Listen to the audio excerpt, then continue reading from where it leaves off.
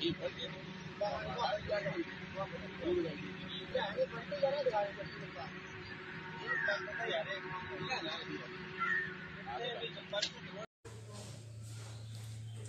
Expressway पर एक बस जयपुर से बिहार जा रही थी।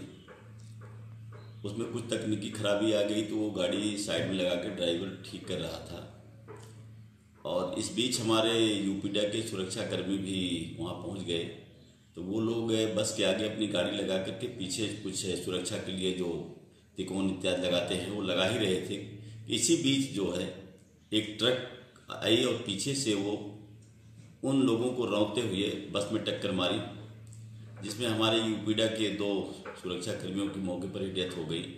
और एक बस का वो शायद कंडक्टर खलासी या कंडक्टर ड्राइवर रहा, वो जानकारी उस समय नहीं हो पाई कि क्या था। उस तरह तीन लोगों की डेथ हो गई और छह लोग घायल थे, जिनको सैफे रेफर किया गया था। उसमें से एक, जो बस के यात्री थे, उनकी भी डेथ हो गई। तो इस तरह इसमें कुल चार लोगों की डेथ हो गई है और पाँच लोग घायल हुए। घायलों का इलाज सफ़ाई में चल रहा है और जो डेड बॉडी है, उनके प्रोसेस किया जा रहा है।